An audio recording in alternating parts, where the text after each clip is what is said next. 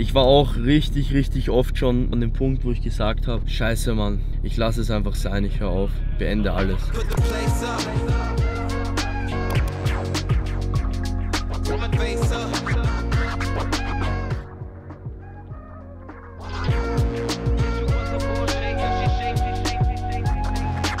Ah, was ein schöner Tag, meine Lieben. Es geht gerade ab ins Gym für mich. Es steht Push an, davor hole ich noch einen Kollegen ab. Ich werde nicht alleine Push ballern. Das heißt, wir werden umso mehr Gas geben können. Und davor will ich jetzt noch mal ganz kurz euch einfach was mitgeben, meine Lieben. Und zwar im Leben kann es nicht immer nur aufgehen. Es wird auch oftmals bergab gehen oder ihr werdet stagnieren oder euch fragen, Mann, fuck, wofür mache ich das alles? Glaubt mir, so geht es mir auch oft. Aber am Ende des Tages, meine Lieben, kommt es für mich darauf an, etwas zu finden, was einem Spaß macht, etwas zu finden, was einen erfüllt und da einfach durchzuziehen und schauen, was das Leben mit dieser Sache dann bringt. Weil ihr müsst immer so denken, beziehungsweise ich denke so, wir leben verdammt nochmal nur einmal. Wieso sollte ich dieses Leben damit verbringen, Sachen zu machen, die ich nicht machen will? Und klar, es wird immer Sachen geben, wo, wo man mal weniger Bock drauf hat. Aber im Großen und Ganzen sollten wir dennoch schauen einfach, dass wir Sachen finden, die uns Spaß machen und denen dann nachgehen. Fragt euch selbst, was macht euch Spaß? Worauf habt ihr Bock? Und versucht es einfach durchzuziehen und versucht es zu machen und in diesem Bereich, was es auch immer sein mag, irgendwas zu kreieren.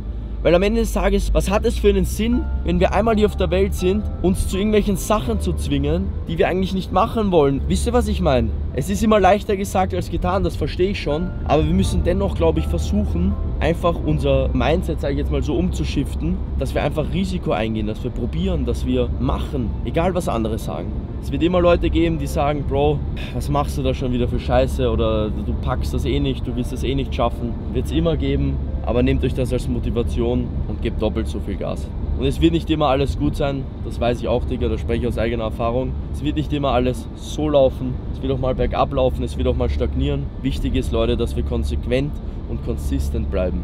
Und dann ist es nur eine Frage der Zeit, meine Lieben. Ja, Mann.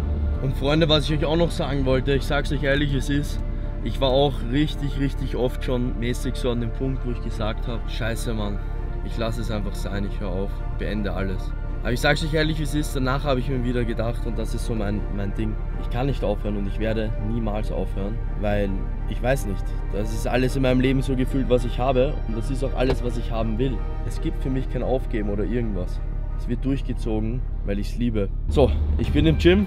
Ich Lost Head beginnt. Jetzt habe ich so einen geilen Talk hingelegt und jetzt, jetzt bin ich schon wieder so lost. Nee, ich sitze im Auto und hole jetzt einen Freund von zu Hause ab, der gerade mit der Arbeit fertig geworden ist. Und wir werden uns die Brust zerstören, meine Lieben. Das könnt ihr euch nicht vorstellen. Wir haben auch noch Schultern und Trizeps dabei. Das heißt, es wird eine komplette Push-Einheit. Ich habe sehr, sehr, sehr Bock drauf. So, Freunde, wir rufen jetzt mal den Kollegen an. Ich kann nur gerade nicht aufs Handy filmen, weil sonst liege ich seine Nummer und dann vielleicht tyrannisiert ihr ihn. so, schauen wir mal. Jakob? Ja. Ich bin da, du kannst ähm, kommen.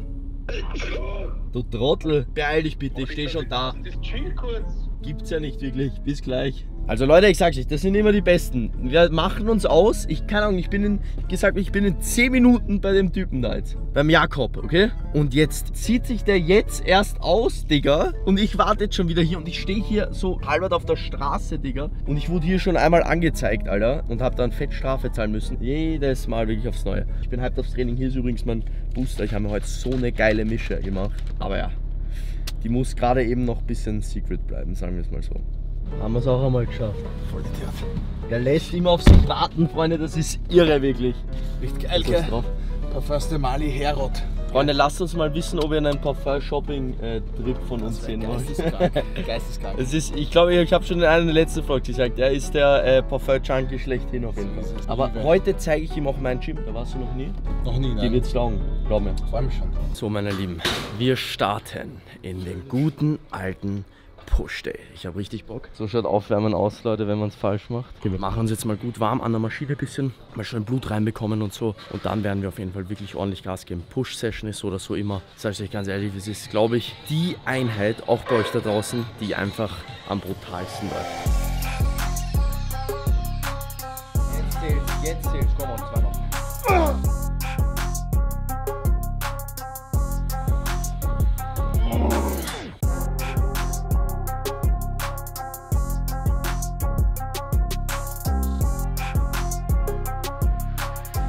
Uh, erste Brustübung hätten wir geschafft.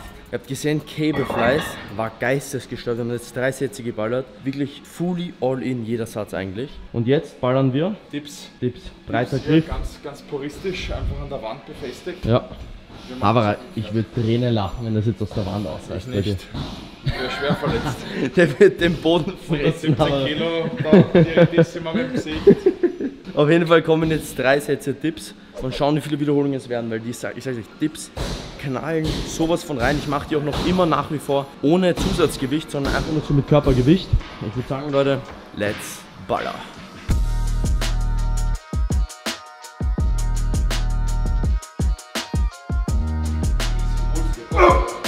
Yes.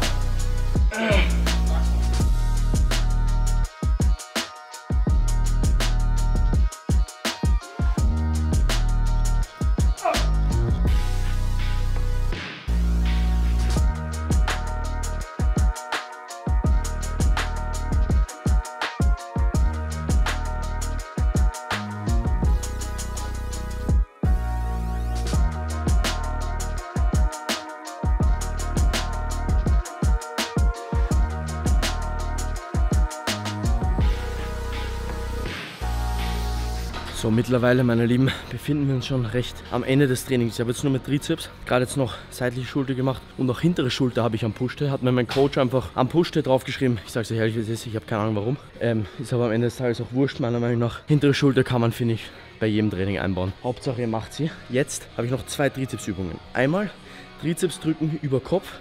Ist mehr für den langen Trizepskopf, der sozusagen euren Arm wirklich fett breit ausschauen lässt von, von zum Beispiel einer Double Biceps Pose. Ich meine, dafür sind ja alle Trizepsköpfe wichtig. Also einfach ballern vorne. Wir haben jetzt Überkopf und dann noch einmal runter, sozusagen Trizeps Pushdowns. Zwei Sätze. Das heißt fünf Sätze Trizeps jetzt noch. Dann war's das mit dem Push-Training. Also jetzt nochmal ordentlich durchbeißen. Fokus ist auf jeden Fall richtig am Start heute. Fokus und Pump definitiv, meine Lieben, auch. Ich weiß nicht, ob man das gut sieht. Kann man auf jeden Fall machen.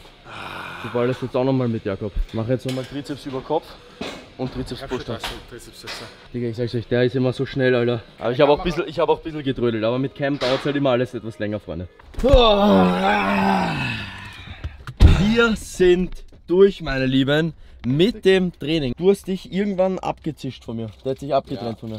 Aber Manuel- ich trainiere halt nicht immer nur eine Stunde wie du. Nein, du, nein, entschuldige. Du hast nicht eben trainiert eine Stunde. Anstatt dass du im vollen Pump die Fotos machst, machen wir Brust. Da machen wir keinen einzigen Satz Side Raises. Und ich habe den ersten Satz Schultern begonnen. Und er steht da und macht eine Viertelstunde, 20 Minuten Fotos. Und ich sage erst, mach doch nachher die Fotos, dann hast du einen vollen Pump. Zu meiner Verteidigung, ich hatte Brustpump und der Brustpump geht nach 20 Minuten, 10 Minuten bei mir weg. Ich bin halt kein Influencer und ich trainiere effektiv. Deswegen trainiere ich eine Stunde und fertig, ja. Freunde, wir können jetzt nicht allzu recht machen. Auf jeden Fall, was machen wir jetzt? Ich glaube, wir holen uns mal was zum Essen jetzt, oder? Chicken und so und dann gibt's geiles Essen. Weil ähm, es hat 35 Grad. Alter, es hat fucking 35 Grad. Was geht hier ab? Das Geile ist, hier ist gleich nebenan ein Supermarkt. Zeigen wir den Leuten, was unser perfektes Post-Workout-Meal ist, okay? Beziehungsweise die eigentlich diättaugliches Post-Workout-Meal. Ordentlich Eiweiß, wahrscheinlich ein bisschen Kohlenhydrate, paar Mikros. Mal schauen, ob es Gemüse gibt.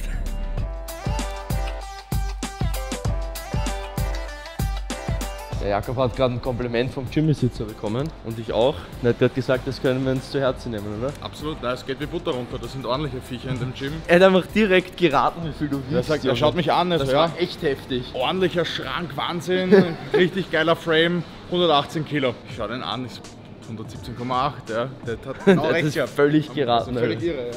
Okay, wir brauchen jetzt ordentlich Proteins, mein Freund. Wollen wir es eher Steak oder wollen wir Hühnerfleisch? Garnele. Okay.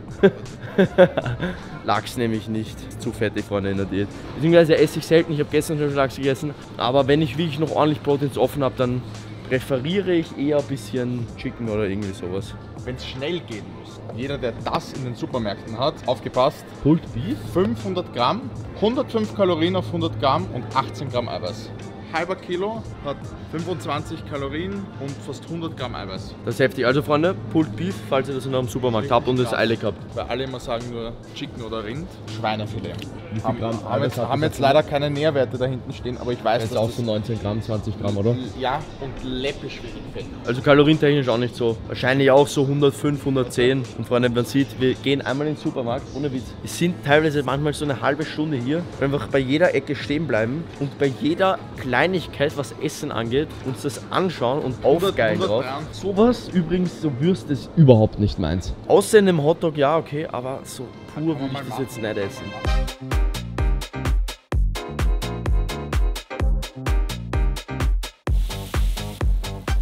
So, meine lieben Damen und Herren, sieht jetzt das fertige Meal aus. Wir haben Chicken, wir haben Brokkoli und wir haben Reis. Richtiges Bodybuilding-Essen. Wir haben Hunger, Alter. Wir müssen jetzt mal reinhauen und wieder gut ja, Energie tanken.